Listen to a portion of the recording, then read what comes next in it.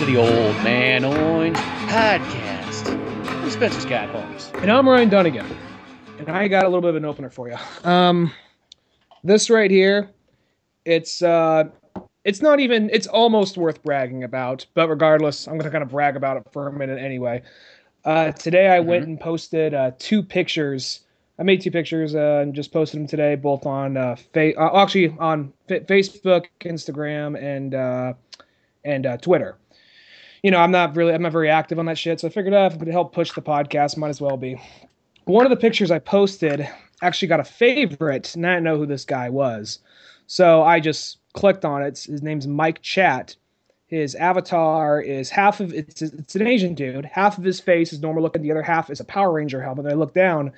Aside from being like a martial arts expert, this guy's apparently a Power Ranger in like one of the later incarnations. I don't really know which one this is.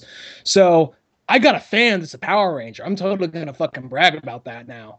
Oh, that's badass. I mean- that in itself doesn't matter, doesn't matter what generation Power Rangers it is. That's fucking Yeah. sweet. So I mean, I uh, I mean, it's one of those things. I'm not gonna push my luck. Like, can some like follow him on Twitter? I'm like, can we be friends? You know, I drew this one picture. what are you doing on a Sunday at two in the morning? you like this one picture? I mean, like, it, it's it's weird. I it's like we walked right past. It's it's so fucking dumb to me because we literally walked right past the Green Ranger.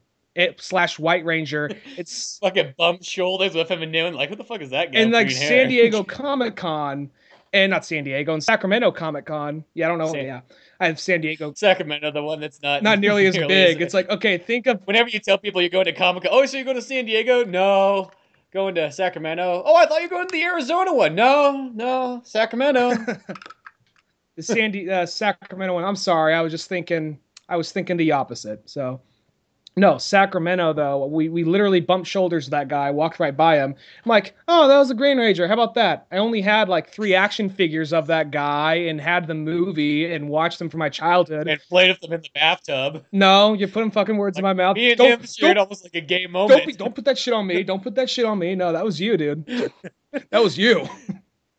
no, I took Jonny Quest figures into the bathtub. No, It was uh, with me. It was uh, it was Star Wars figures and GI Joes. so you might have had a gay experience with Harrison Ford. Well, no, they're, they're going to the water planet. They're going to the fucking water planet. yeah, it's, and, it's know, not like an actual gay experience. It's just you know a couple guys in a bathtub naked. Like yeah.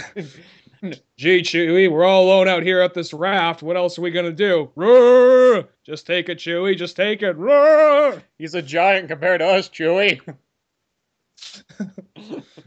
but uh, but uh, what was I gonna say? So, but it's so fucking weird. I got this weird surge of like, wow, a Power Ranger li- who I don't know likes something I did, but at the exact same time, I'm just kind of like, it's so fucking weird. I don't even know who this guy is, and know who he was till he clicked the favorite button, and yet I passed like a childhood hero of mine. be like, oh, who that guy is.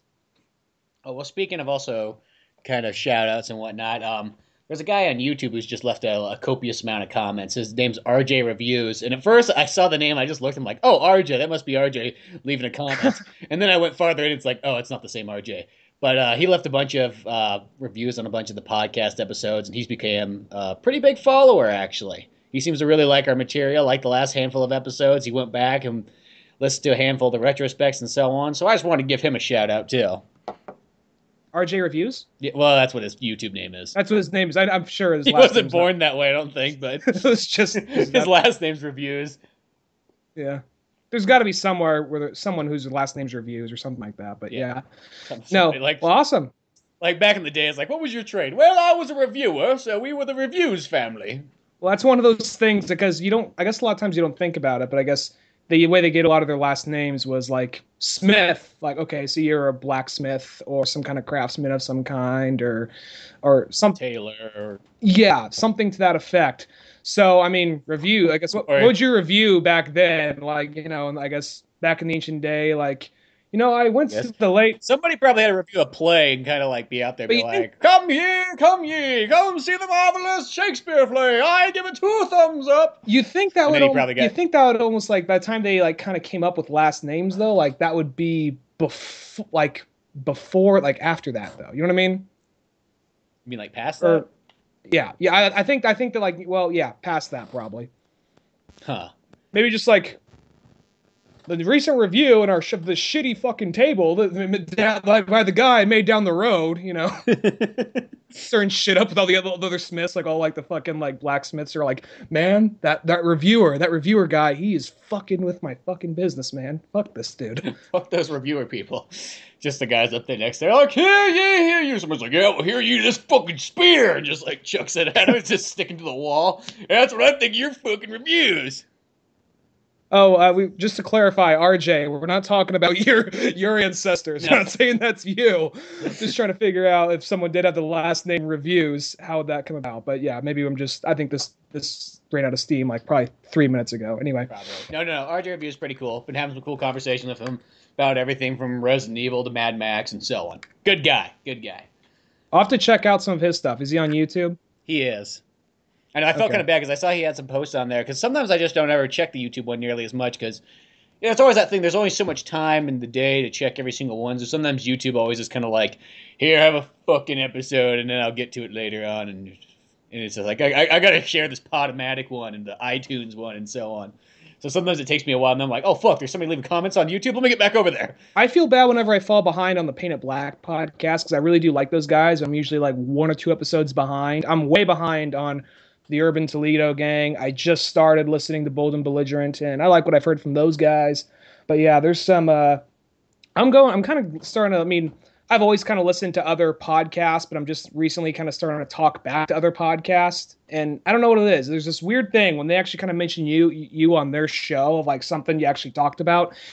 It, it there is that initial like, oh, the famous person kind of knows me, even though because you know, there's just that there's that thing of like I'm never gonna meet this person. I, they're just the person I listen to inside the box. You just kind of have that mentality you've had since you were a kid. You're just, oh wow, we can kind of reach out to each other now. It's kind of trippy. Yeah, exactly. That's always kind of neat. I mean, I know this is this is no revelation, but I just it's something I just I was always kind of like, oh, they're never gonna read my email. What's the point? But now, actually, you know, I know if you just kind of throw enough stuff out there, somebody's bound to pick it. eventually something's gonna stick. Maybe I got to do that with uh with uh, or I'm already forgetting his name. Uh, Mr. Blue Ranger, Blue Ranger, who I just found out about. Mike Chat. Maybe just do that with Mike Chat. We'll become friends one day, and he could teach me his Power Ranger skills. Well, speaking of kind of somewhat in the same vein of superhero news, did you see that? It came out, I think, about two weeks ago, but there was a new Batman movie.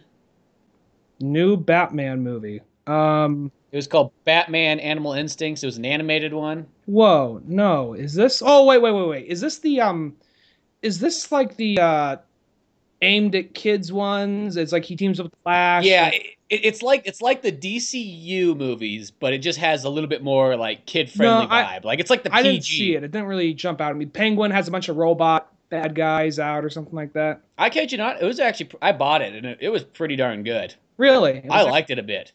I guess yeah, I just looked I, I mean, like you got to kind of go into it. Don't expect it to be kind of like the adult ones. You know, if you go into it sort of with a almost like a Brave and the Bold feel, Mhm. that's what it is. Because it does kind of, you know, it's a little cheeky. It's got some funny moments in it. But yeah, you got Batman, Nightwing, fucking Red Robin actually get some credit for once. Uh, and then you got Green Arrow and Flash. And I'm assuming it's Green Arrow and Flash because they're like, hey, you know, the CW show is popular. and they're probably also trying to build them up just for like the eventual uh, cinematic movie universe. Yeah, so just throwing them out there more. But the cool thing too is like you really don't get Green Arrow in enough like animated movies like that. In fact, I don't think he's really in other than uh New Frontier. Unlimited, I don't know Justice League Unlimited. Well, that's a TV show. I'm talking about the DC animated movies. Uh, yeah, New Frontier. He was kind of. He, I mean, he had that little he had the little short, but I'm not counting that one near as much.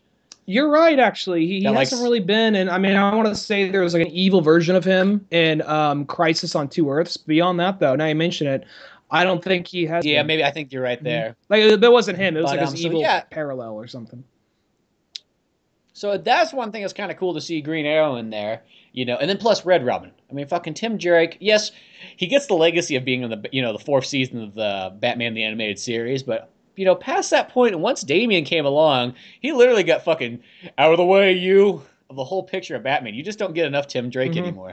I just I see like when Damian dies. I just see when Damian dies, they're all like grieving at the funeral, and you know, Tim is waiting there longer. He he he see like probably Bruce is probably the last one to leave, but Tim is like, no, no, I'm gonna outwait Bruce, and he sits there like fake comforting Bruce, like it's okay, Bruce, it's okay. I called Alfred. Just go home, get some sleep for once, just for once. It's okay. And he just talks Bruce into eventually leaving once Alfred comes up in the Mercedes Benz, takes him off, and like, like fucking uh, Tim's like, finally, just fucking pulls his dick out, starts pissing right on the grave. Giving the bird. yeah. Well, that's your, like, I, there's like there's one of my favorite Simpsons skits, and they're like at this petting zoo, and then they see a sheep, and they're like, "Oh, look at the little baby sheep," and then there's another sheep, and they're like, "Oh, that one's almost even cuter," and then it goes to like a third sheep, and it's just like drawn like super cute and stuff, and then the first sheep walks right in front of it, and then Homer just leans in and goes, "Out of the way, you!" and pushes him out. I forgot about that part. like, and that's almost how I feel. Like, you got all these Robins, and then once you got the Damian, fucking, you got Tim Drake walk one. back in, and it's like, out of the way, you. That's what DC kind of did with them. Like, all right, well, I mean, he went and he went and manned the uh, um, he was leader of the new Teen Titans or whatever, but mm, I I don't give a shit. I mean, I I I, I wanted to care. Teen Titans is one of those things I wanted to care about the Teen Titans. I really wanted to. That's right when I was starting to get into comics. Like, you know what? I'm going to hop into Teen Titans. Geoff Johns is writing it. I'm a cheat. I'm a teen. They're cheats. I can relate. Geoff Johns is writing Teen Titans. He writes Flash. Flash is cool, right, man? And He's hip. yeah, I don't know why I'm doing like '90s kid in like you know 2000 and like five, but yeah. So Oh, I got a '90s kid thing to tell you too afterwards, but car- carry on. so then I, I I forced myself to read like you know two Teen Titans not like graphic novels, and they weren't like bad or anything, but they just didn't really grasp me. I'm like, I just got to get into it, man. And then I just like, um, like you know, I don't care about you and your fucking teenage problems. I want to see you punch some fucking people and stop. Like, man, Batman won't let me be my own. Like Tim Drake was pretty cool for the most part, but there was that whole thing of like, man, you grown up superheroes just got to let us be us, man. You know, you're not always right. You know. So I just got, Yeah. and that, that that that could be true, but at the same time, it's like, I don't give a fuck. Let's. I just want to see. I want. I just. I I kind of want to see my already well balanced at that age. I kind of like already want to see my well balanced like, like uh, like a mentally stable like adult characters. Exactly. But um, yeah, at some point, check out that Batman uh, Unlimited uh, Animal Instincts. It, it's actually pretty darn cool. It's also got uh, the pretty much the villains in it. You got Penguin, then you got Man Bat. Um, even though he's not technically a villain, but uh, Cheetah's in He's it. like he's like he's like the Curt Connors of uh of uh DC. yeah. The lizard. Oh yeah, Croc's in it. Speaking. Thank you for the reminder. And then um, Uh-huh. and Croc looks like fucking Godzilla in this one. Like he just looks like a miniature Godzilla. and then uh, there's it's a Blue Beetle villain, but he looks kind of like Gorilla Grodd. Oh, is he the guy with the brain? Like It's he's like a robot ape. yeah, yeah. And is he, is he like all sophisticated and shit? Yep, that's the one. I, So- I don't remember his name, but I know who you're talking about. Yeah. So they got all those in there. Um, and it does. It has that kind of like it- it's got some. It's got a mix of seriousness, but then it's got like the lighthearted comicalness to it as well, and the superhero feel. But um, if, yeah, just the key thing. I think the only reason why some people don't like this one is if they go into it expecting it to be pretty much like the Batman versus Robin movie, then you might be a little bit let down. But if you kind of go into it going, okay, I'm something like you know Batman Brave and the Bold, it's really good. I liked it a lot. Some from what I saw in the trailer, it almost looked kind of like this was sort of a a long like pilot episode. They're probably using this to try and sell, try and sell. Like if this movie sells well, maybe we can start up and this could be the next Batman series. Well, what they're doing with this one is they're going to make a, they're making another movie that's coming out later this year for it. So I think they're trying to do I think it's literally they're trying to do a, a DCU movie but just one aimed at a little bit younger audience or more of a family audience. I'm not going to say necessarily younger, just family. I think they have like two different branches. There's the main one they advertised like guys our age, and they have the family one because there was a Ju- Justice League movie that came out that was like G rated or something. No, that out, one like, was really good back. too. I, I, Mhm. that was one of those ones I bought it a little bit late, so then I kind of forgot about it for talking on the show. But uh, that one was another one. They did kind of like it was like sort of like a modern Super Friends, but if Super Friends was done good, not kind of obnoxious. They don't. it- They don't. I really want there to be a part like just deleted scene, maybe, or just them like beating the shit out of Marvin. Yeah, I know. Just like maybe like you don't, they don't really say it. Just like you just see him on the fucking corner beating some, and then you see like a pair of like brown like lit pants sticking there, and then you see like a cape floating by. Red hair, like that, covering fucking his face. but no, it's like Cyborg's like, you fucking stay there. Don't you fucking get up. Know your fucking place. Like, I want to say they use Cyborg to replace pretty much Marvin and fucking Wonder Dog and Wendy. you don't. But it has like the, it has it has that Legion of Doom. That's like the like the battles. The only thing you might not like about it though, it's like they do that I might not like. Okay. they do go to the future, or Lex Luthor goes to the future, or no, he's frozen and he ends up in the future, and then he starts fucking shit up. And you can probably guess what future this is. Legion shit. Yeah, it's got a couple Legion characters in it though. Now here's the thing. I don't. I, I don't hate the Legion. Just stay where the fuck you are. in the future. no, that's you stay in the fucking future. No, this one's actually like the Legion part's not really bad. It doesn't like bring it down because there, there's always those books where like there's a Superman one I have. It's um it's called uh, Time and Time Again, and I was like, man, this story is just awesome. Superman's going through all kinds of this time travel and doing all kinds of this cool stuff, and then all of a sudden he gets to like Legion, and the story just kind of goes from being this like super awesome story. And then it just tips down a bit where it's not like it's bad, but it just like that roller coaster ride just instantly stopped, and now you're kind of on a like a little tugboat going down the river. And it's just like, oh, it's more of like it's i guess it's because here's the thing um it's set in the future. Most of the things i recognize and, and know of is of the dc universe aren't in the future. And on top of that there are all these characters yeah i don't really know.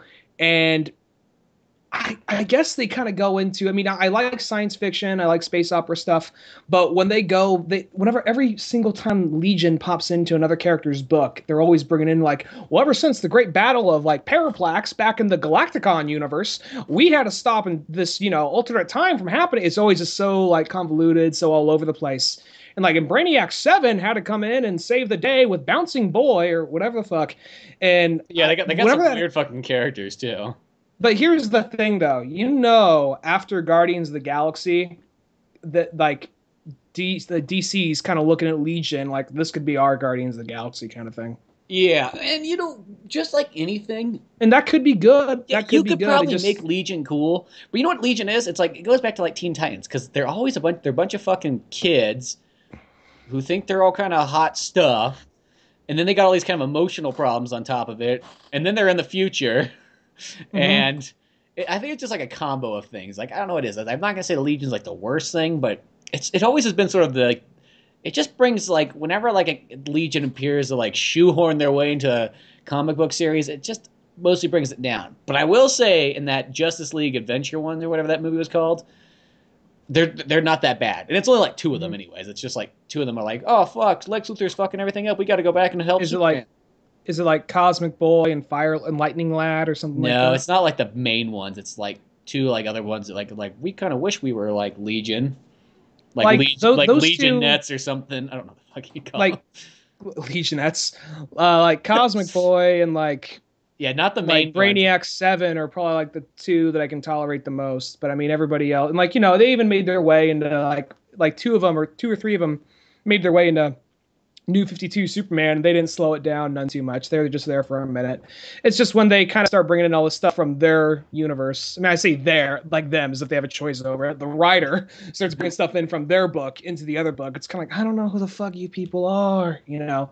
Even though I guess it's all probably in some way a spin-off from Superman because Superboy is part of the Legion or is descendant or whatever the fuck. I, I can't keep track of it. Well, speaking of something that makes a lot more sense to you know regular folks in good old '90s times, did you happen to pick up that? Um, they had that comic come out. It was called X Men '92, and it's like they're going back and doing like the '92 like TV series style of X Men again in comics, like a continuation. They're like continuing the uh, old TV show. I'm not too sure if they're continuing either the old TV show or the comics that were spun off of the TV show. That always seems so weird to me when there's this like, all right, you know that uh, you know that that this comic book we spun off a cartoon of that, and now we're spinning off a comic book of the cartoon, of which is based off already a comic book.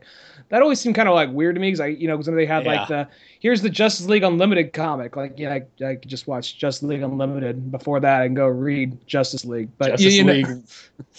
yeah. but, Well, um, I, I mean, I picked guess- up that first first issue. It came out yesterday, Mhm. Tuesday. I want to say. Um, and uh, because I was looking forward to it because I heard him announce it like last year. I'm like, well, that's fucking there we go. That's my, the X Men I know and love the most. So like, the book starts off. It is like 90s as fuck. They are at a, at a mall. awesome, They are at a, an are they're at a laser tag awesome.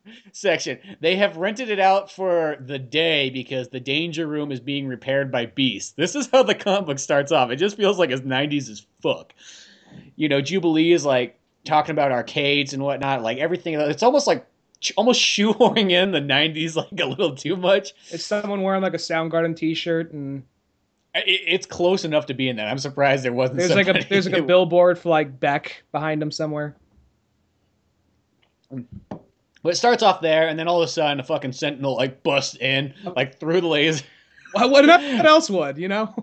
Yeah, what else would just like fucking bust? And then it's that thing that apparently this is why I think it comes from the comic books because some of the stuff I don't remember in like the the TV show was that there's like Senator Kelly's like fucking Emperor Kelly or something like that, and he's like flying around this like hoverpod thing, and he explains to them later after they defeat the Sentinels, they're like, "Oh yeah, there's just some of those rogue Sentinels just running around, you know, the world. Like we can't do anything about stopping them. It's just like."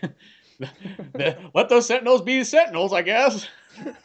Just these giant walking things, like with their own mindset going around. Just ignore it. Only goes after mutants, not real people. you know, like me. Yeah. Well, Like every like me, like everybody else. Everybody else in the world has a floating like chubby chair, right? yeah. but um, so it, it goes through that, and then that's almost about it. Like really, because it's well, sometimes when you read like one issue, you, when you try to explain it to somebody, it's you realize how like simple and quick one issue is. Like fucking fight. It's like, what were they doing? Well, they were playing laser tag because the danger was broken. Sentinels broke in. That enticed some action. You know, uh, they ended up killing the Sentinels, and Senator Kelly came by and said that those Sentinels were kind of rogue and that maybe you guys should do something about it. Tune in next week, folks. Well, I, I could only imagine. I'm just I'm just gonna take a shot in the dark here. Wolverine was not playing laser tag with them. He probably had his arms. Nope, he was playing laser tag with them. Really? I saw. I could just see him having his arms crossed, and then like seeing like waiting down the hall, and like some shady figure who's gonna play a part later. Peeps like, "That's something don't smell right about that guy." He follows him in. Next thing, that's when the Sentinel busts through or something like that. No, well, he gets kind of pissed at some point because like Jubilee ends up winning, of course, because she plays so many video he games. just fucking knifes her. well, he's happy that Jubilee Oh, she'll wins. heal back, oh, he's like, happy because oh, he's fuck, like, as that's long as fucking Scott doesn't win.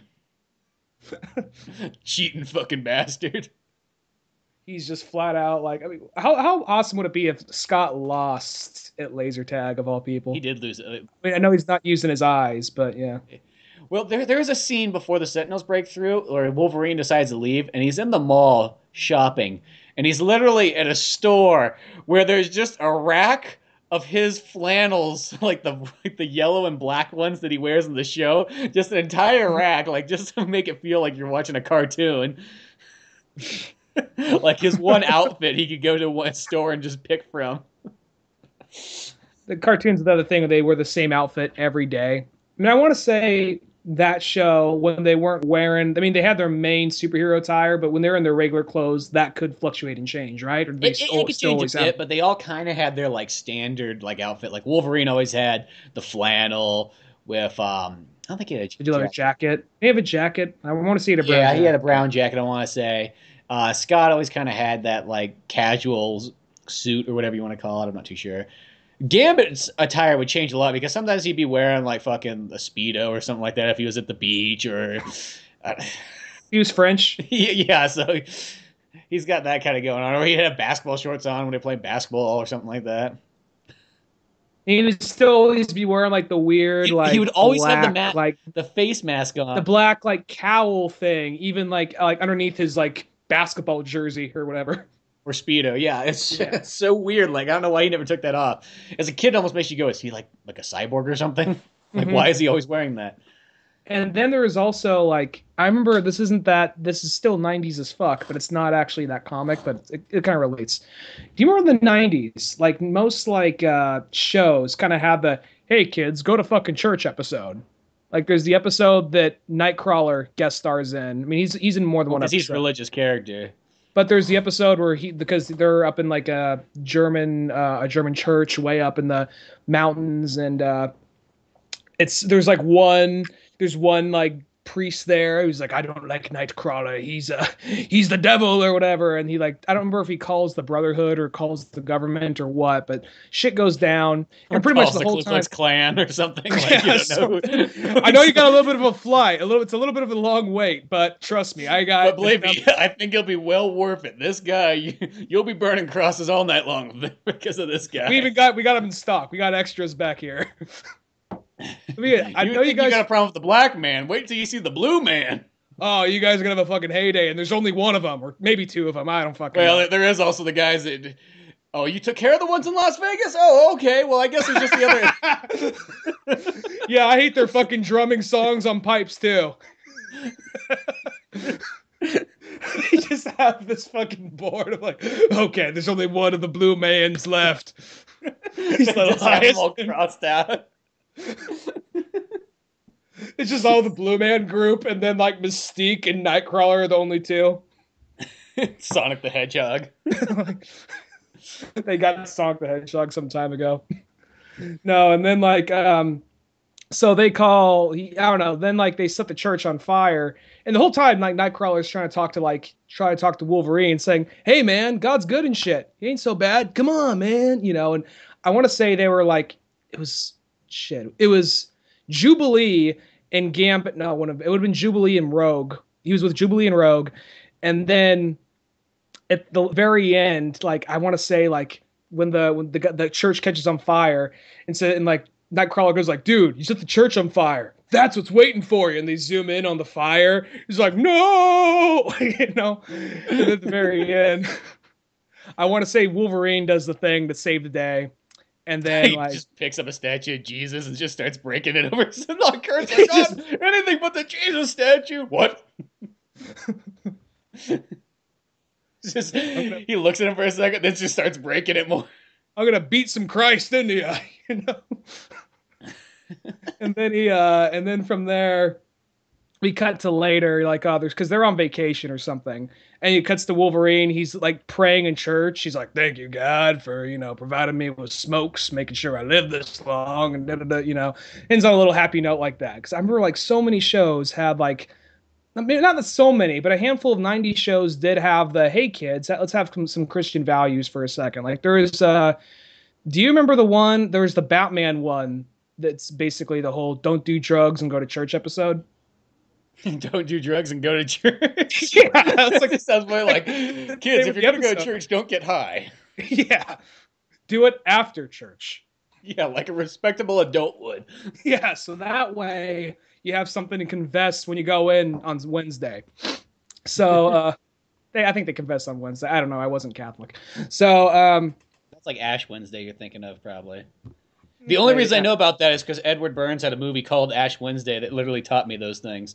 And then you got to see fucking uh, not Spider Man, but um, almost Spider-Man. Uh, no Donnie Darko guy. Um, Yeah, almost Spider-Man. Um, yeah, almost Spider Man fucking Jake- shoots somebody. Jake Yeah, Gyllenhaal.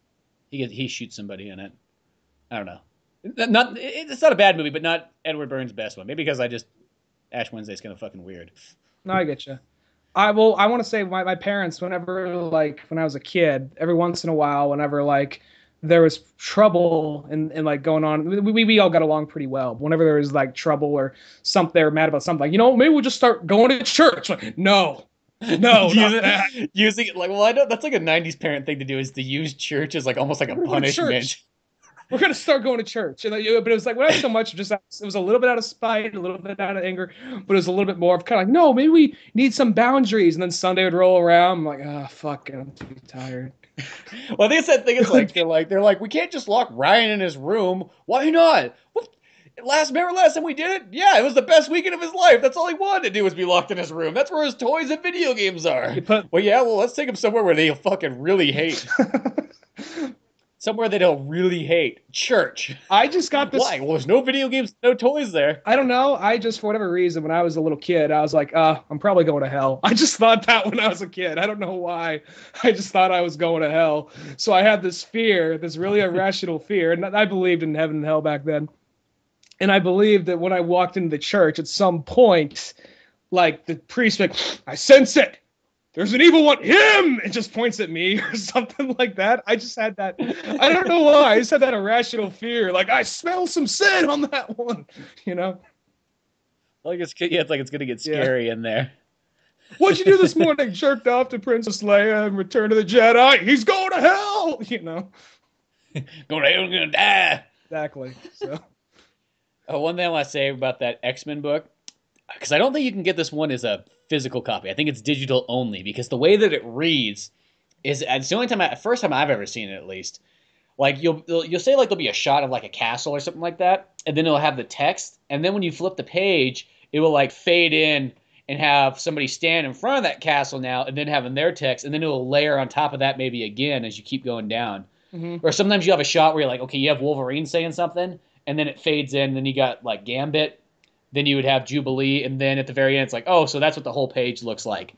oh, Like it does it bit by bit, kind of like it's totally made to be a digital comic. I kind of like that about like some of the digital comic apps because I, well, the thing, I mean, it's it's it's, it's part of the media. It's hard to avoid, but mm. you'll turn that page.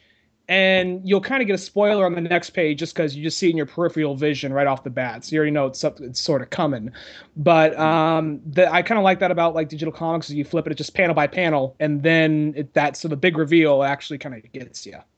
well, I, I will say this: I actually think that reading comics is technically actually better I like it more. in the digital form, just because of that. Like technically reading wise, but I do like having the. It's more like I like owning the physical book. But I will say reading it's kind of like that. But this is actually different than that. It's not like it necessarily goes panel by panel. Mhm. It's like it layers on top of each other, like something that you could never Oh, okay. you could never have this book as like a physical copy Mhm. because of the way it is. Because it will be like one shot here, and we're still on like maybe one page, and then it starts putting things here and layering it on top. it's Oh, kind of that's weird. pretty cool. It's like a, kind of like a So it's different. Like you of. should you should check it out just for that almost. That in itself is cool. I mean, probably somebody else already did that on some other book. I'm pretty sure this is not like a Mm-hmm. new thing. It's just the first time I saw it. So if you combine something new like that with something old that I like, like X Men, X Men '92, and combine together, I could see it's that. only two bucks too. It's a two dollar issue, so it's not bad. they had um because well that right there i mean i like uh i like having a physical copy but i think as far as reading the book that's actually kind of better for it but i just i myself i guess i like to see trees die i guess because i like having a lot of like physical copies Yeah. but there's some yeah, books it- where it- it's kind of like it's literally a trade off though. I, I will say I like the digital copy almost just as much. I just I'm not willing to pay like when I when I get a digital one, it's like I don't want to pay the same price that I can get an actual item for. It's got to be like half off or something like that, Mhm. or something like this where it's just like oh okay whatever that's kind of cool. uh on another is that all you wanted to say about uh, x-men Yeah. We're going to take a quick break right here. But now a word from our buddies at Paint It Black Podcast. Take a listen. I'm Pete. That's Brian. Yeah. There's Lou. We are Paint It Black Podcast. We are Paint It Black Comics. If you could describe the show, what would you describe it? horribly offensive. Balls to the walls. A good time. I don't know. Very Un- true. unprofessional. I wouldn't be Bang, surprised zoom. if fucking Barney heard some some screaming from next door. Hey, yo, Fred, I got uh, kicked out of the house. Uh, can I stay with you guys for a little bit? No, Barney. We're not friends like that. you better go stay with Kazoo. Dum dum, you should have said yes to your wife. Can you imagine what Disney World would have been like had he lived longer? Uh, no Jews. That's the primary difference. I feel like he funded the Nazis in some way. Like, I, don't, I can't prove it. The first fucking model of their helmet had ears on it. Oh, the Basketeers coming over the hill. What the fuck's going on? Dosan sounds like a Renaissance painter. He was the fifth Ninja Turtle. He wasn't right in the head. They didn't really bring him out too much. I'd like to fight the foot. That's probably why they had all those stupid ass toppings. That's Bubble like, gum. Fuck, who let those sounds order the pizza? I want again? stink bug. Who, who put Legos on this shit? Can I give you money for for sex? I would enjoy you making a transaction for a blowjob. Can I get a receipt with that pussy? Oh yeah, how, how do I follow this? Do you wash those briefs with starch? Make that booty clap. Why don't you? Let's hear uh, Randy Newman doing the song for Pompeii. Oh, he's on the spot. Whoa, did smoke. Volcano. Whoa, this the smoke.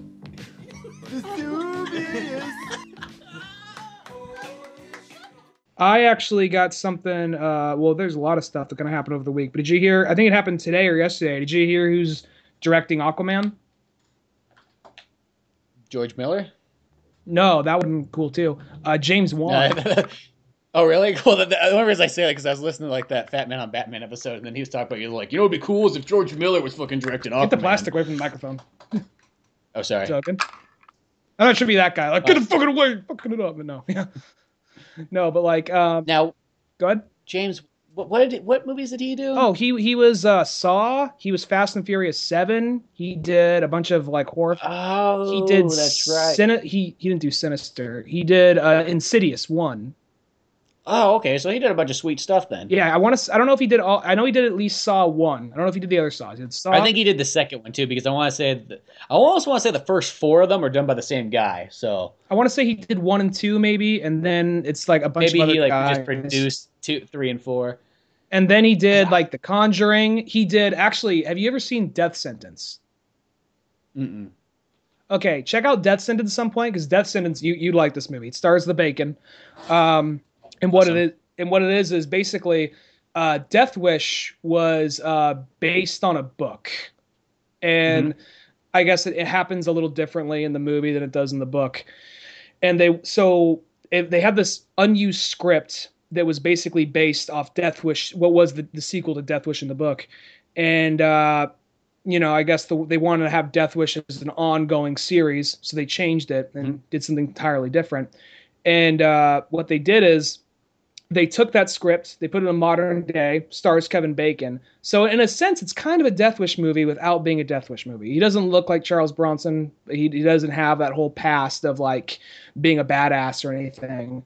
He still has his family. Basically, this guy's family gets killed in a um, in a gang initiation and uh, it's just this very and it's this very brutal violent it's, it's kind of like it's more of a drama than it is an action movie. But when the action happens it is fucking awesome. A lot of people didn't like the movie. It only has like a 20 Huh. something percent on like rotten tomatoes but the movie is fucking awesome. Check it out. It's like uh, john goodman's in it. He plays like an arms dealer. Uh, he, he it's not a huge part but small part. Like i aisha tyler who does the voice of um what what's uh, what's her that Archer? Archer. She like she plays a cop, does a great job in the movie. It's a really good movie. Check it out. Huh, that's so. Well, to me, that sounds like kind of movie that I'd like because I already like Death Wish a lot. So you do that, and it's kind of cool because that's it's almost sort of like how you know you get that movie Payback with Mel Gibson in it.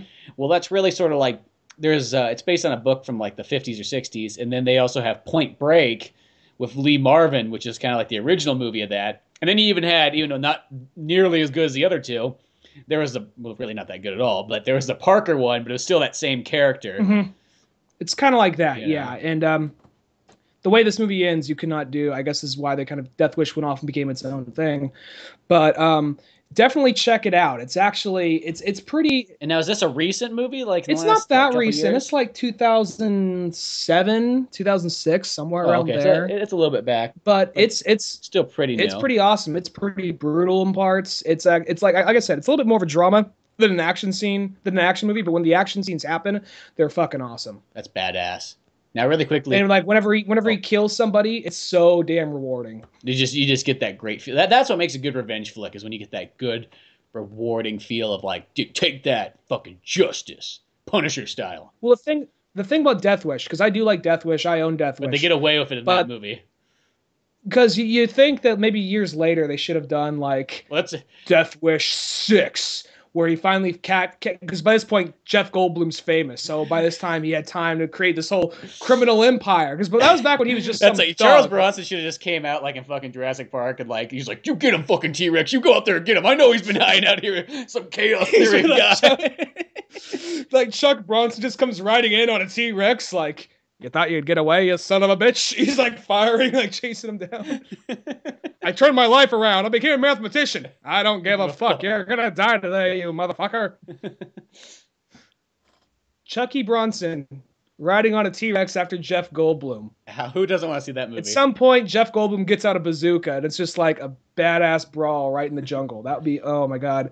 When he runs out of ammo with the bazooka, he just pulls out a knife. It virtually it reaches the point where it's just like putting their dukes out. You know what I mean? Like other fighting it out. dinosaurs. The dinosaurs are spectating din- now. yeah, they all crowd around, and they're just like, like the raptors are just doing that, ooh, ooh, like chanting. It's things. just subtitled, and one raptor just says, "Can you believe it? Fucking Charles Bronson and Jeff Goldblum are fighting in- in our neighborhood." yeah, and like by the with like Charles Bronson, because the whole the whole rest of the movie just goes off the rail. We don't see what happens to Sam Neill. We don't see what happens to the kids, John Hammond. It just focuses on Charles Bronson, who, if you didn't see the previous Death Wish movies, you don't know what the fuck is going on.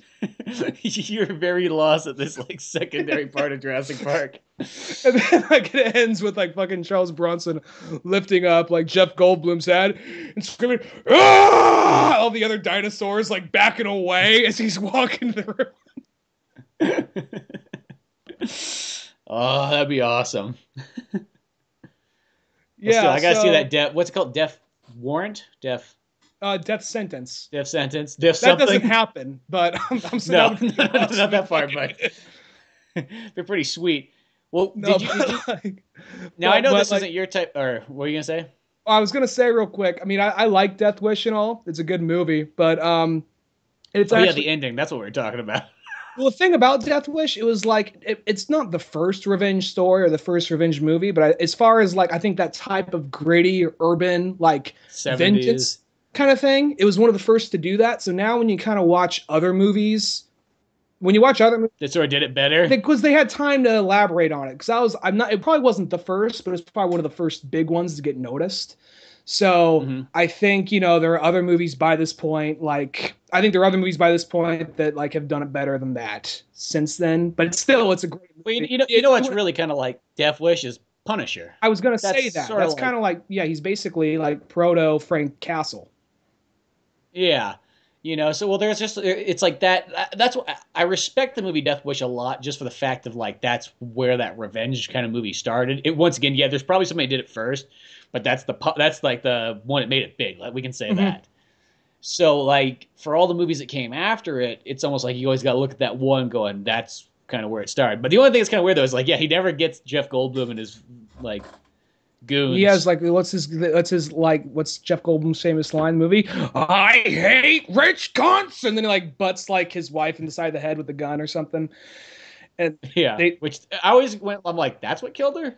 yeah, because she just falls over just so, you know. But whatever. I mean, it's still it just hard- doesn't feel like enough. Like I, I know it's it's like I know it's supposed to be kind of more realistic in real life that could just kill somebody easily. Mm-hmm. I guess in a movie you of expect it's like he's, not just gonna beat her fucking his skull in or something like that, and like Like- so that we know in the our movie audience that she's like '80s Roger Corman, like soul smashing kind of shit. yeah, something like that. Well, speaking of other kinds of smashing, I know this isn't your type of movie, but did you see San Andreas? Um, no, I didn't. I'm not really big on. Here's the thing about that movie. I'm not totally opposed to seeing it. I'm just not really big on disaster movies. That one looked kind of like. I, I'll, I'll say it. The one say usually I'm one of those people like you don't need a big star to sell a movie. I'll be honest. The one thing about that movie is like maybe The Rock I, because I'll tell you this though, I kid you not. I think that's almost like the perfect disaster movie. It's got it, they hit everything right in it. There's nothing fucking wrong. really I kid you not. It is all good. I, okay, you got The Rock in it, so that's just already badass. And then you got um, uh, what's her name? Gina. She's in um. I always think of her from Son-in-Law, but she's also in Watchmen. Sin she's City. in um, Sin City. Um, trying to find Faster. last name, but she, yeah, but she's in there. Um, fucking you get Roy Harper in the very beginning of the movie, but that's the only part he's in from Arrow. Um, and then um, oh, and then um, what's his name uh, from Sideways? It's Uh, Paul late. Giamatti. Paul. Giamatti. Yeah, Paul Giamatti. But um, no, I kid you not. It has kind of the stereotypical like story where it's just like sort of broken family, like The Rock. you know, they they're, they're getting like a divorce. You know, and the you know the mom's going with some rich guy and whatnot. But that stuff d- does not really affect it. it. That's it has that kind of the stereotypical let's get back together thing, and they do. And they just do. They just never- It's a stereotype. Well, they, they, they but they never focus heavily on like the drama parts of it. There's a couple like little parts there, but you know, like where some disaster movies that kind of like brings it down, Mhm. or like there's always like dumb characters in it. Like I always say, look at War of the Worlds. War of the Worlds is a perfect example of a movie that should just be fucking pure amazing, but there's two fucking entities that bring that movie down. You don't even say people, like entities, like subhuman, like these. they are subhuman. It's just it's Work Tom their way into it. kids. Uh, 'Cause Dakota really Fanning and like- Dakota Fanning and White Goku. Yeah, it's like I think about it. If you if I say look at everything in that movie except for those two kids, I think that movie's fucking awesome. Those two kids, though, they bring the movie from like something like it could be almost a four out of four movie to being a two out of four movie, in my opinion. It's like it brings it down a lot. Well, when you think, I mean, I'm not trying to like, you know, overly suck his dick here because I'm a fan of his work, but I mean, Spielberg. When you hear Spielberg, War of the Worlds, that makes perfect sense, and that should immediately be kind of like, in my opinion, something to like a Jurassic Park level or like Jaws mm-hmm. level because it's kind of like that big blockbuster horror film that like a kid could probably tolerate, but could still probably creep you out a bit. And yeah, it was just in that I did like the movie wasn't trying to be all like flash like a flashy action adventure movie. It was trying to be like a horror film, which is cool because most science mm-hmm. fiction usually just goes for big flashy action. But this it was sad because yeah, it was just kind of like there were things about it that were really cool, but then the kids Well, it's like the special effects are really cool. I think like just like the story and like how everything plays out is really cool. But if it's just those two fucking kids, where in San Andreas, all the characters are good. The Rock's fucking awesome. The mom's awesome. The daughter is a really cool character. Like she's really strong. She's not like a pushover or anything. And then they got these two like British chaps in there who kind of like stumble along with her. The- And they're all good too. And then you get the best part too is you got the fucking douchey like rich guy that like the mom's going for. dies in the And beginning. you know, The Rock's being. Well, no, yeah, well, The Rock's being all cool with him at first. He's, he's being like the, the the better man and whatnot. But then the second that like, she's like, "Well, um, I'm moving in with you know Bill over here and whatnot," and then he just kind of has this look on his face because it's just The Rock. This is like the one like- arched eyebrow thing. Please tell me does the one arched eyebrow thing. you almost no, he doesn't. You almost picture though. You know, like this is one of the best scenes in True Lies is when he's driving the car and the guy's talking about his wife. He's like, "Oh, he's got like an ass like a baby or whatever, or ass like a ten year old boy," and then it just shows Arnold. And he just smacks him in the fucking like face. And then it cuts back and he doesn't actually Yeah. do that. I just almost picture in this movie, it shows that guy just like, oh, we're moving in with each other. The Rock just grabs him and just smashes his head over the counter. and then it just cuts back. He's standing there still. No, he, he literally goes outside. He kind of takes it out on the bike. He like pulls his bike out. He's like, "Here's the daughter's bike." He doesn't like chuck it, but he like sets it down all angrily and whatnot. there's there's even a part though, like in the very beginning, because he's like, he's a the Rock's like a firefighter, but he's like search and rescue. He's flying a helicopter and whatnot. You see that in the trailer. There's a part where this chick like drives off the edge, or a boulder comes at her, and she goes off the edge of a cliff, and they're having to save her. And this is the only part that they got fucking Roy Harper in. He's there helping too. Gets his fucking arm stuck underneath the car. But there's a part like at the very end, they're like, "Oh fuck, we gotta go down there and save Roy. We gotta get her out here, or else we're not gonna make it." it." get a robot arm. The Rock literally goes down there to get the girl out. He fucking rips the entire car door off, like in one fell. That's awesome. So they still got they still got like rock like moments in there. But the good thing about this movie, the action's constant. It's like copious. The movie doesn't slow down enough. There's always something cool going on. The special effects look awesome. I mean, you get to see Los Angeles get destroyed. You get to see San Francisco get destroyed. You get to see the Hoover Dam get destroyed. It's fucking badass. Um, I noticed that now. and then it's just like, oh, you continue on. Well, I noticed for a while, like all disaster movies would focus on the East Coast. Now, like we're giving it a break. We're focusing on the West Coast now. Well, I noticed that a lot of movies now are starting to be shot in San Francisco because there was a time yeah. period where I, I used to go like, dude, they haven't shot a movie in San Francisco other than maybe a couple here and there that are kind of underrated in like years. Because like I always just think of a lot of Clint Eastwood movies take place in San Francisco, but you know that like what thirty years ago of like Dirty Harry and all those kind of bunch of- movies. So now it's like we got Terminator Five, you got Planet of the Apes, you got uh, San Andreas. A lot of movies are coming back to San Francisco, whether or not that's actual San Francisco and not digital San Francisco. Yeah, and then also like I mean, this is a CG movie, but still, um, what call it? That new Pixar movie coming out, Inside Out, takes place in San Francisco. Ant Man, oh well, there takes you go. place in, in San Francisco. Uh, there's another one coming out that's in San Francisco that I, I'm drawing a blank on right now. But yeah, there, there's a bunch of movies taking place in San Francisco. Also, I don't know why I missed BH Trend.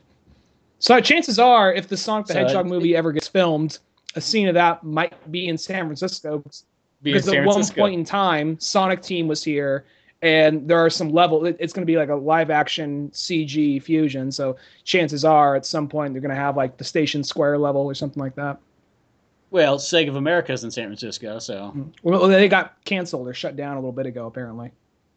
really, Yeah, that humongous building did. I believe so. I heard that, Oh wow, I, I didn't, I didn't hear or at least that. but- Son- the Sonic Team down the here got like got like Sonic Team's no longer here anymore in San Francisco. They all got fired or laid off or canceled or whatever. Huh? Sega was just being a dick and just did a massive layoffs because like we're doing we're That's a, that- that's happened to like a bunch of companies like Konami and Capcom and Sega. I, I don't know all what's going. I saying we're gonna focus on mobile gaming. Yeah. It's like nobody fucking cares. Which we might sound like But, um, maybe they, that they'll be the same. Thing. If that is this thing to save the uh, save their companies, we're gonna sound like a bunch of dinosaurs. Like, can you believe this mobile gaming? But I mean, I'm sure they'll make some yeah, I money. know, but I'm sure they'll make some money off of it. But it just sounds so kind of like dickhole-ish to me. I don't know. But yeah, I, I'm sure. Yeah, they'll make money. Wow. Ginormous spider just fell off the side of the wall. Oh. But Don't let it bite you. poor guy was like, "Fuck!" One second. Once you just like you hear you run off camera, like fucking do it. Kill it, Laura! Laura! Jar! Jar! You know? No, I wouldn't kill it, but like, just you just gotta picture you like just picture yourself climbing along this wall. Like, I mean, to a spider, that's like a hundred fucking stories up, and then all of a sudden you just do one misstep, you're like, no. I mean, like we see it, it's just like you goes down like seconds, but to him, he's be like falling like, whoa. Well, like that Ant Man trailer. Like, I'll be honest, Ant Man's not jumping out at me.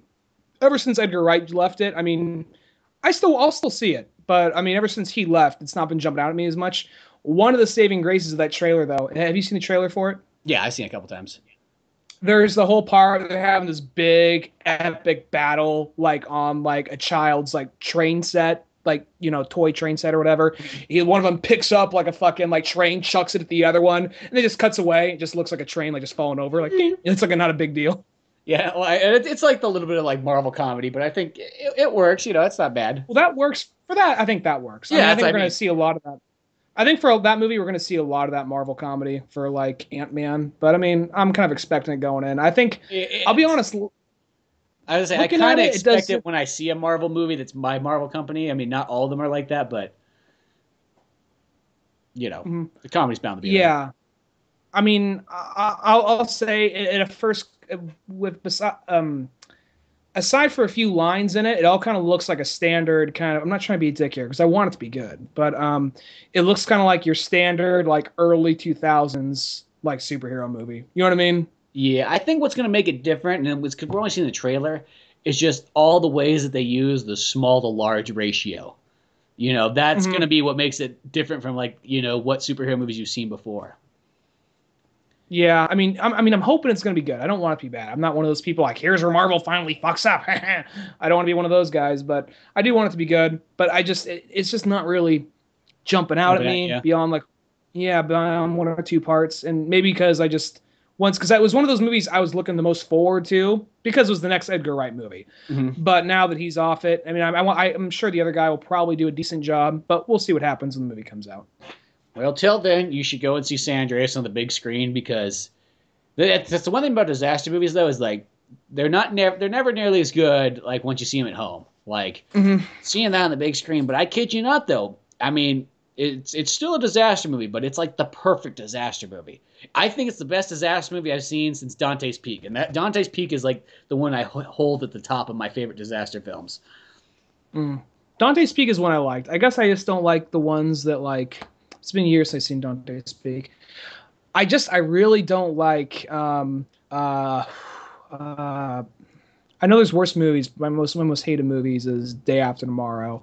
See, it, it, does, it doesn't really have any of those problems because you know, like if, if I had to point out the problems in Day After Tomorrow, a lot of times it is. It's like, well, there's some annoying characters in it, and there's not enough action in it, and it's got some, you know, this and that. This movie is just like tons of action. You know, the drama is just subtle enough. You know, just what you need. Like that douchey guy, like he fucking. There's a part where like his the daughter's like in San Francisco, and she's at like his like douchey new high rise building he's building or whatever his office, and um, you know the, place starts douche corp. shaking. So they so they run down to the you know the their fucking Lincoln and start driving away, and then all of a sudden like the ground collapses, and I feel so bad for the the driver because nobody fucking cares about it. Like the ground collapses, they fall in or whatnot. Or maybe they turn around, but this huge like raw, or like the top part comes down right on top of the driver, just like smashes him, and then like the the daughter's like stuck, her legs are caught underneath there, and the and the guy's like trying to get her out, like the douchey stepfather.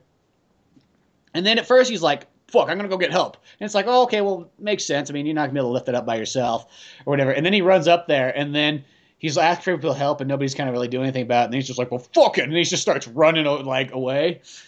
And then that's when like the British kids that come in, they help save her, and then they become like the other heroes of that section, and they get her out, and they do it in like a really ingenious way too. Like the guy thinks about, it, he gets like the jack out of the car to lift up the rock because they can't pick it up themselves, and then he goes, "Oh fuck, it's up all the way, it can't do it." So then he stabs the tires, and the tires go down, giving that extra lift. I'm like, that was pretty cool. That was smart. Mhm. But then there's a part two. This is like, I think it's when the tsunami kind of comes, or it's either that or it's like a ginormous dust storm. I can't remember. I'm drawing a blank. Even though I saw the movie like a week ago, I'm starting to forget things. The douchey guy, he's out there and he's like, "Oh fuck!" And he starts turning around, running, and then there's like a guy hiding in the corner. He's got like this perfect corner. The douchey father, he literally takes this guy, just starts pulling on him, and throws him out into like the tsunami or the dust storm or whatever was going on. It fucking takes the corner, so you're just like, "Oh, that fucking douche." And then he finally gets his And comeuppance. he survives. like, Go ahead. I cut you off. he finally gets killed, like when it takes out the uh, Golden Gate Bridge. He just gets taken out by. Maybe that's when the tsunami comes, because then it takes out the Golden Gate Bridge. Well, whatever. There's tons of sweet action. As I said, you get to watch not only the Hoover Dam get destroyed, which is a really cool scene. You get to see Los Angeles, and you get to see San Francisco, and then some other little places along the way. You see some like small little like valley towns, just gonna sh- where there's not a whole bunch of structures around, just like a little shake. Shh. Oh, what the fuck was that? I don't know. There's a crack in the wall. That's kind of bad. Yeah, Some Central Valley. There's like a there's a part where like uh because like the the Rock and like his wife are pretty much trying to save their daughter. That's like the whole point of the movie. And at first it starts off that like the Rock's in his helicopter and he goes to pick up his wife and whatnot, or his ex-wife by this point, I guess. But then they you know they get back together, and then they, they almost just keep switching vehicles because then they're like they're in a helicopter. And then the helicopter goes down somewhere, so they take a car, and then they're driving this truck, and then the car they end up trading with this old person for an airplane. So then they're flying this airplane, and then they parachute in the giant stadium, and then they got a fucking boat, and they're driving around, and it's, it's almost like a Grand Theft Auto movie if that was the case. I can kind of see that. I mean, sp- well, speaking of kind of rock, I'm, I'm assuming it would have to be in like uh, it would have to be back. The Rock's apparently going to play um, the uh, Russell character in the um, in the uh, what you call it the uh, um, Big Trouble in Little China remake. Escape from, or yeah, I heard about that. I'm like, that's perfect. You know, The Rock to me, he, he can play pretty much. If they're gonna remake any old action movie, he's just the ideal Mhm. go-to candidate for me. I just think he, he's just the perfect one. You know what I mean? If he was gonna, he could play even like Arnold Schwarzenegger roles, and I'd be like, yeah, that would make sense if they were gonna if they had to do a remake of something or another, and if The Rock played it, I'd be like, okay, that that's my most Well, believable. he is kind of like one of the uh, only, uh, as far as I can tell, he is one of the real only kind of like Arnoldish actors we have right now. Um, I'm trying to. I mean, we have action Yeah. stars, but I mean, we already have. we have guys that are like close, Jason like Statham. you know, but I almost feel like, well, those guys, I feel like they're more like in like the Mel Gibson, Bruce Willis, like they're, you know what I mean? Like if that makes sense, like because if there's if there's almost like two types of action stars, you got like your huge bodybuilder types, like Arnold Schwarzenegger and even Stallone, even though he's a smaller guy, but he's got kind of that bodybuilder frame. Um, and then you got sort of like they, they almost like your action stars, but they almost feel like everyday people. Like Bruce Willis is like the everyman sort of. He just happens to kick a lot of ass, and I almost feel Mel Gibson sort of in that same thing, and Kurt Russell. You know what I mean? They're not, you know, they're athletic, but they're not like huge. They're not like you know over the top like muscular and whatnot. They're they got regular frames. I mean, you could say Stallone's in that state. He's like he's like the guy who goes from both. He can be sort of that everyman, and he can also be the guy who's like the next step up. He's kind of like the guy who uh he's like because he, could yeah you're right because he could be kind of like the the big war commando or he could just be the really buff the really buff guy that kind of works at like the mechanic the, is his mechanic could also probably kick some ass if he had to. Yeah, well, I was thinking almost you could say Rocky's sort of like the, the everyman, Mhm. and then Rambo's like the super action guy that like fuck you'd have to be that certain person with that type of training and all that. Like he's just like oh you know that extremist. We we even look at him in Rambo one, like he he's still he's still like built. He's still obviously in great shape. But then you see him in fucking Rambo four, he is like kind of rivaling Arnold with how fucking huge he is. Maybe it's just the way how how it's shot, but in Rambo four, he was just a fucking like tank. Yeah, he, and then even Rambo three, I think that's even where it goes even farther. Mm-hmm. Yeah. And it's just he's just massive, and same with Rocky Four because like the same time period. Or I guess he's more ripped in that one. Let's say that. I think he might be bigger in two, but Mhm. So he's sort of the guy like that. But that's how I think of a lot of these guys. Even Vin Diesel, like I think of him being close, but he's almost he's almost like he's like a Stallone, where he's sort of like the in between. He's bridging the gap. But yeah, we really don't have a whole lot of guys that are at that Rock level. And you know, there's guys that have potential. Like I think Dave Batista, he's almost there, Jason but he just hasn't got enough. Yeah, him too. They just haven't got enough like starring roles where you're like, okay, let's have that. Where The Rock, you know, The Rock can sell the biggest movie known to mankind, Mhm. pretty much. Rock's at the point where he could be in Yeah, almost anything, and he could probably sell a pl- uh, picture. Yeah, because that's I mean he has like that Arnold Stallone level of fame. I think Mhm. of nowadays, where he just is this guy. Like literally, you could slap The Rock on almost any movie, and it's kind of like I'd be there just to see The Rock. I've, I pretty much see just about any movie he's in because it's like I like The Rock that much. Maybe not the Tooth Fairy. He is kind of my Maybe- like. I would maybe check out the Tooth Tooth Fairy. Beyond that, though. Well, that was sort of the period where I remember, like, because there was a period where The Rock was doing a bunch of kind of family movies, and you're like, and you're kind of like, dude, are you ever gonna do a fucking action movie again? You know, it's like, where's like The Rundown or like Walking Tall or even like Scorpion King or something like that. And there was this period where he just wasn't doing them, and I think I think the comeback movie was Faster. Mhm. Because once he started doing Faster, then he was in Fast and the Furious. Then he started putting him in other action movies too, and he had his comeback. You know, he, I mean, he was in that Hercules movie. He was in. Uh, That's the ironic thing, because Faster, like a lot of people didn't like Faster, didn't get good reviews, but I think a lot of people actually kind of noticed that, oh, this guy can play like an intense, like uh, anti-hero kind of character. Because even like Scorpion, because like Mummy Three or Mu- Mummy Two. Two, he he was there at the beginning, and then there was a CG, really bad CG rock attacking people at the end. Yeah. He was just kind of there for the very beginning of, of, of Mummy Two, and then even Mummy Three, it's like this guy becomes a bad guy. He seems pretty cool. I mean, not Mummy Three. Scorpion in uh, King? Scorpion King, he seems yeah, he seems really cool. Like he's like, oh, this guy becomes a bad guy. I don't see how he becomes a bad guy. He's still very he's still very chill. I mean, he's a badass, but he's he ain't he don't he don't, he don't seem so bad. yeah, And then so and I think Faster was the one where he he played kind of where it showed he could play like a tragic anti-hero kind of character. And it's so weird to hear that like people are just so anti-faster. When I just think of that movie as like, man, that movie's like such a good movie, and but and that's true because Now here's I, I would recommend that mo- movie to people, and then people would watch and be like, eh, it was okay. I was like, okay, I think- like what the, f- okay. I think a lot of people just don't get it because, and I'm not trying to say that like you don't understand. I'm not trying to say that in like a demeaning kind of way. But I mean, Faster. The thing about that movie is, it's a modern day western. I don't think a lot of people catch that, and even just the way the action goes. The thing about, mo- I mean, way a lot of, I'm just going over a cold. Sorry about that. The way a lot of act like 70s action movies go is there's this big build up to the action and when it happens it happens really quick but it's very brutal when it happens mm-hmm. and faster is very much trying to be that and i don't think everyone really caught that i mean there's some i mean there is one thing about faster i think at one point in the movie they give too much information away that, that, that i was able to piece together like all right well billy bob thornton's going to be the bad guy they're going to try and pull a fast one on me but they just basically i could put enough together Billy Bob Thornton's the bad uh, bad guy, a little too early for me. But still, everything else in the movie was really enjoyable, and I and I really liked it. Yeah. So I even went out. I even went out and bought it right when it came out. So because we don't have very many modern westerns like that. No, and I just think that's yeah, it's it's modern western, has The Rock in it.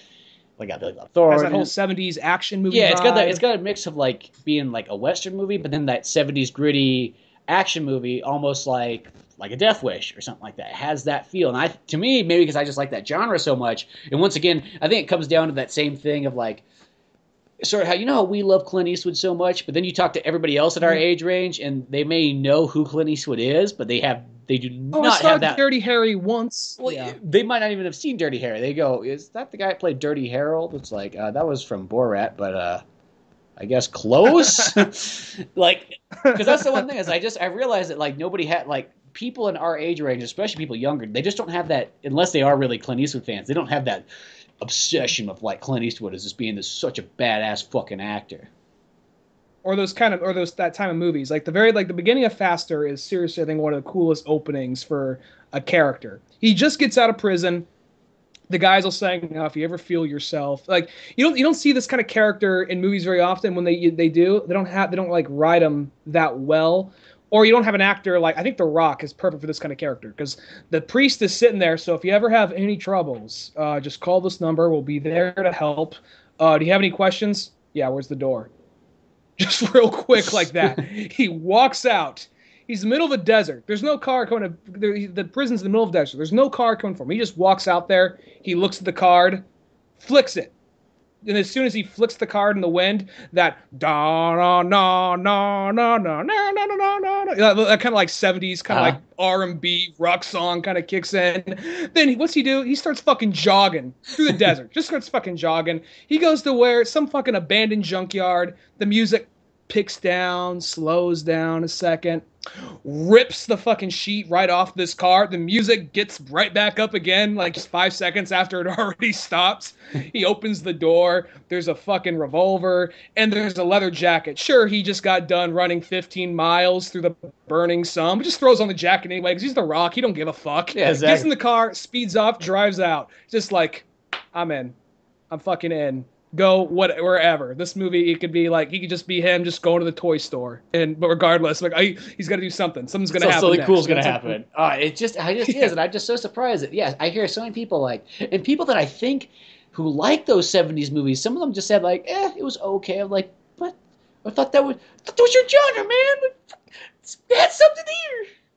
the only person I've talked to that kind of I mean not it's not a movie that like everyone has seen, but the only person I've talked to that totally kind of got that movie was like Wes. Like two to I remember like a week after I saw it, I bumped into Wes. He just puts his he really we're having like some drinks. He like finished he took a shot of something. He's like, Dunigan, you've seen faster, right?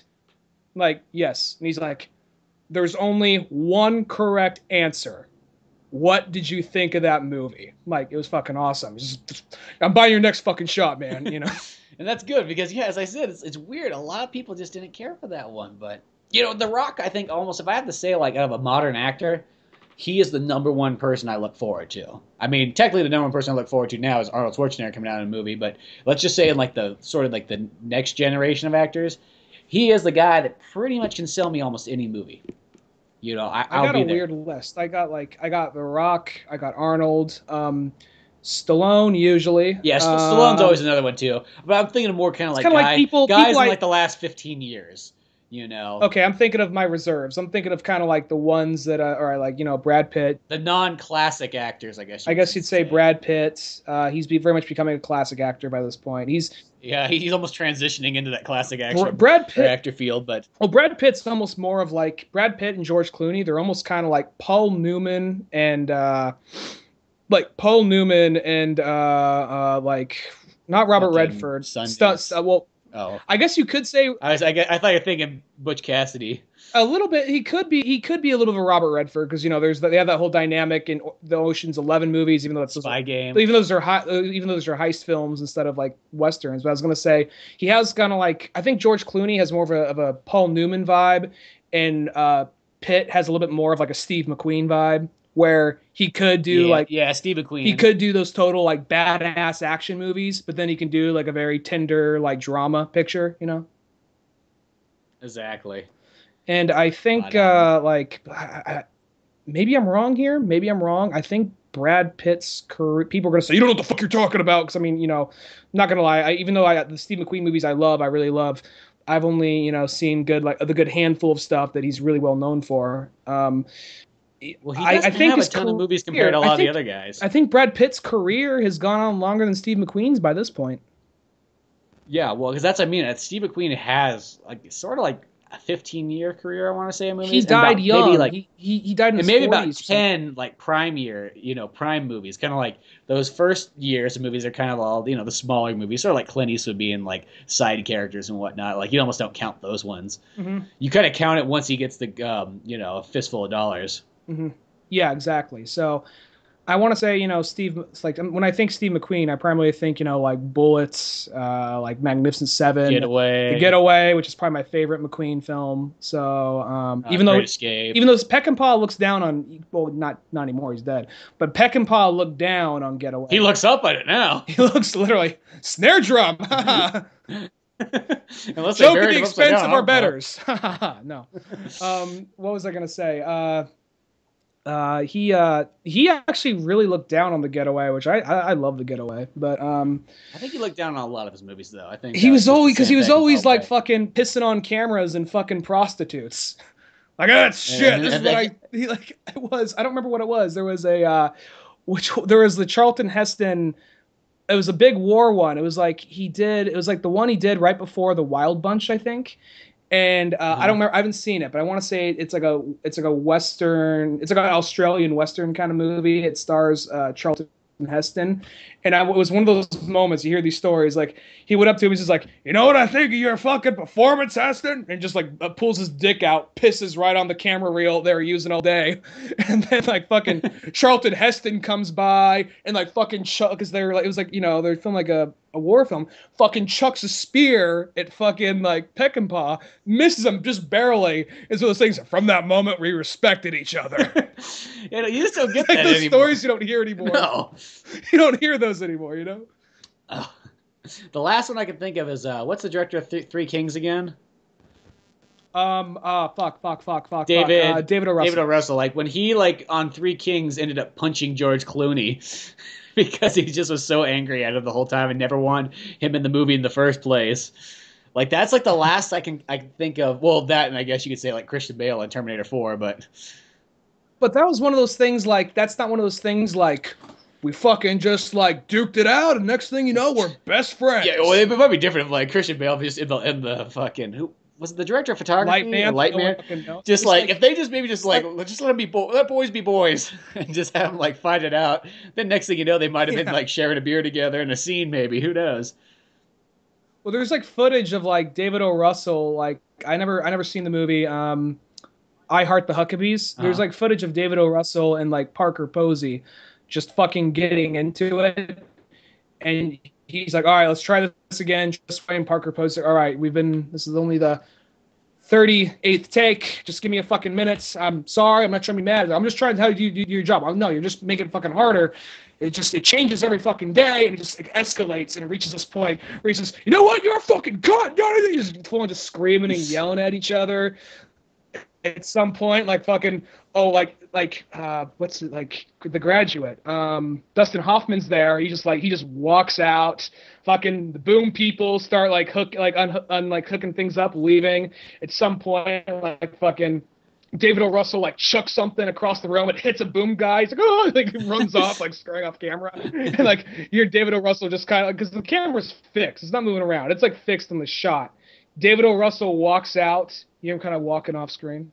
Then comes to the other door on the other side of the set. And you know what? You're a fucking hack. I don't give a fuck what they say. You know.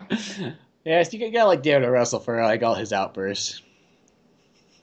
he's just like I don't know. I mean, it's one of those things. It's like usually you kind of laugh at that kind of stuff, but right there, that like I was laughing at the Christian Bale one just for. I mean, I felt bad for the guy in it. I don't know how much the guy was at fault or how much Christian because it's only audio. We we we don't see what the guy was doing. We assume he's literally walking into the shot while they're filming. I don't know if that's what he is doing or if like uh, Bale is just being overly sensitive, but it's all audio, so we can't know for sure.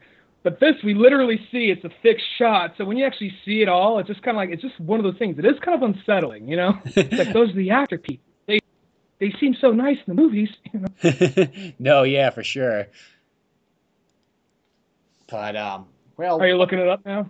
no, no, I'm not looking it up. I just wanted to check something really quickly. But I just want to make sure the Windows wasn't trying to fucking update itself again. But um, Oh, it likes one more thing I actually got, actually I bought recently. I bought that game Splatoon, the new Nintendo one. Oh, the the the jizz squids. Yeah, the Jizz Squids, where you're just kind of going around coming on people, and people are coming on you, and you're all having a good time. Apparently, it's really fun. That's what the rage says on Twitter. That well, I just kind of because there's one of those kind of games like Nintendo is good at doing this. Like they can release a game, and I kind of look at it and go, "Yeah, that looks okay. I don't know, looks a little kind of kiddie, or maybe I just don't care." Pikmin did this one. I remember when that game kind of came out. You're like, "Yeah, do, do I, why do I want?" You almost like ask yourself, "Why do I want this game?" You know what I mean? Not saying anything necessarily Mhm. against it, but like, what's the selling factor? You know, I this, I understand the selling factor on Mario and Zelda, but now you're trying to sell me this one about space and plant people, like. But then you play Pikmin, you're like, oh, this is fucking awesome. This is a really fun game. I mean, like, I don't know if I would have necessarily went out and just bought it, but you know, somebody else had and I was. I was like, this is great. Splatoon gonna have that thing too, and I just kind of had the money. I'm like, fuck it. I'm gonna just Captain Republican. I'll just support Nintendo. I'm just gonna get this game. I know it'll probably be badass. People say it's badass, and I know I have a feeling it'll be something kind of like a Pikmin, where you kind of it doesn't jump out at you at first, but then you start playing it, and you're like, oh, this is pretty sweet. So you know, I've only played it for a couple, maybe like two hours or something. I only got it a couple days ago. But you know what's the weird thing though? This game to me, it feels like a Sega game. It doesn't necessarily feel like a Nintendo game. It really feels like a Sega game. Now that you mention it, just kind of the looks of them, they do have this kind of a, I don't know, maybe kind of like Alex the Kidd or ChuChu Rocket kind of like art look to Yeah, it. well, it has that. It sort of has a like it sort of plays almost kind of has a Sonic the Hedgehog feel to it because you you'll you'll literally like spray these things and you'll launch up and you go to different areas. I mean, it has that kind of feel. And then just the paint part reminds you of Jet Grind Radio a lot. And then it also has this other. It just reminds you like games like Bonanza Brothers and all these other little things put together. It just almost made- reminds you of somebody who was a big Sega fan putting this game together. And I know it's full on Nintendo, Nintendo, but it I don't know. Maybe Nintendo hired some Sega guys and they had some input in it. I'm not too sure, but I can see just- that Sega just got done firing a lot of people, so possibly. it just it just has a real big. Fe- it just reminds me of like a really like a really good Sega game, like something that we haven't really seen, you know, since like the Dreamcast era, where they were releasing just nonstop good, fantastic games. It almost feels like a Dreamcast game too. I don't know what it is about it. Like it just feels like I could see this game being on a Dreamcast. You know, not the way it looks right now, but just that style. You know, because the Dreamcast just had a lot almost experimental games. hmm And that's what this game is. It's a total experimental game. That kind of thing that like left field to the max. You don't really know what. But it, it's cool. It's fun. It's different. I mean, it's it's pretty neat. As I said, I've only played for a couple hours, so I can't really say like tons about it. But just in my like initial experience, I'm like, this is pretty sweet. I'm I'm glad I got it. When I get a Wii U someday, I'm probably gonna have to probably get that one. There's a few games that I already have a list that I, I know I want to get, but that I mean, I figure that it's one of those games like you said. You look at it, it doesn't look appealing, but you know, given who's behind it, it'll probably will be kind of fun because Nintendo is good at doing that thing where at a first glance you're just like, ah, fuck that. But then when you actually play, like, oh no, they actually knew what they were doing when making this. Well, yeah, I think of how many times I've, I've looked at Nintendo over the years and did that. You know, Wind Waker's another one where I look at that and go, what the fuck is this shit? You know, and that's Zelda that I'm saying this to. And then you go to play it and then you go, oh, it's actually a re- really, really good game. Like, Nintendo's Yeah. good about make Nintendo's good about making a game that at first glance you look at and it almost pisses you off. and They then, like, you go to play it and then you go, oh, well, this is fucking awesome. it's almost kind of like they're not so great at marketing, but when you actually sit down and check out the product, like, oh wow, it's it's really good. And now I almost feel like I just got like so much faith in Nintendo, like when it comes to like their Nintendo Nintendo games, that I could go out and buy something like Splatoon and just be like, oh okay, it is sweet. Like Nintendo just doesn't let me down. Well, over the course of the next two years, they only plan on coming out with I think four or five mobile games, And they're like, "Are you kidding me? People crank out mobile games within like two months. Why the fuck aren't you doing that?" Like, well, we're we're Nintendo. We want to take our time. We want to make sure it's good. We don't want to just rehash Angry Birds over and over and over. We actually want to make a real game rather than just some little kind of like, like you know, like Temple Run kind of thing. Yeah, well, that's the nice thing about Nintendo, though. It's just you just always get quality with it. That's what I always like. It's like really think about Nintendo. Like in 30 years, have they really ever let you down? You Not know what I really. mean? No, they, they every once I in a while mean, there's all right, every, there's- every once in a while, everybody's like, you know, gonna have a fault here and there. You know, my, my only real complaint in the last while is just like, calm the fuck down on the new Super Mario Brothers style games. Give me like a Mario 64 style one. That's about my only complaint. But in general, I always just think it's like they never let me down. Mhm. You know, That's how I feel too. it's just like I mean, people could say like, oh yeah, well the Wii U should have been more powerful. I'm like, yeah, but you know, why do I buy a Wii U's? Because I want Nintendo games. So They're saying I'm never gonna get those anywhere else. they're saying there's a possibility they might because E3 is coming up pretty soon. They're saying there's a possibility they might they, this whole time. You know, you know how rumors are. There's this possibility. Apparently, this whole time they were working on a system that was a that's about as strong as like a PS4 or uh, the Xbox One or whatever the fuck you want to call it. And Uh-huh. still not used to saying Xbox One. It's still like yeah. It's confusing because when I think Xbox One in my head, I think, oh, the original Xbox. Yeah, so whatever the, that thing. So there's they're still they're still saying like yeah, it's gonna be as strong. It's it's they're working on another system that's about as strong as those. That's just something you kind of hear. I don't know how true that is. And Nintendo, they're actually because before they whenever like E3, because they're one of the only ones that doesn't have like a huge conference. Like we're bringing a bunch of people, we're just jamming them all in a room. Look at this screen, everybody. You know. Now it's just kind of like Nintendo's like, yeah, we're just gonna. They're almost doing kind of like the Beatles thing. Like, yeah, we're done doing concerts. We're just gonna record. We're gonna throw it out there. People see it. Where everybody else is still putting all this money into like their presentation. Like, hey, everybody, come check this shit out. And like, it's one of those things at E3. It always annoys me when they're doing a presentation at E3 and they're showing the actual like footage of the game and then it cuts to the audience it's like i don't give a fuck what that audience is doing i want to know what's going on Yeah. in the fucking game Nobody wants to see the stupid audience reaction track that's going on. Put from a distance cool on where there. it's all dark where I can't really see anything anyway, you know? Yeah. No, that's just one of those ones. It's just like, but like Nintendo's good about just here. that.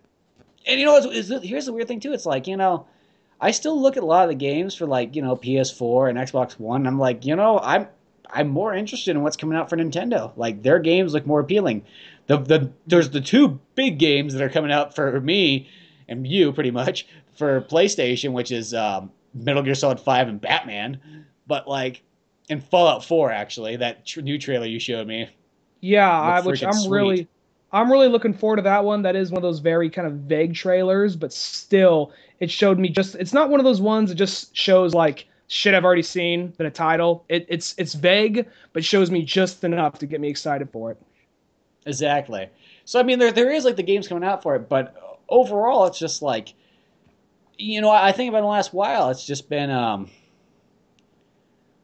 you know, up to a point where Nintendo's kind of like had games coming out, and I look at the PlayStation and Xbox roster, and I mean, I guess for different people, like you know, there's certain games that really appeal to them, but I guess to me, lots of those games like they don't. Almost like the older I get, I will say that generally, I look more forward to sort of the I'm not gonna say like kid friendly genre, but almost like that sort of the family entertainment of Nintendo kind of characters. Like that to me, strange enough, science appeals more than some of these like this is dark, this is violent.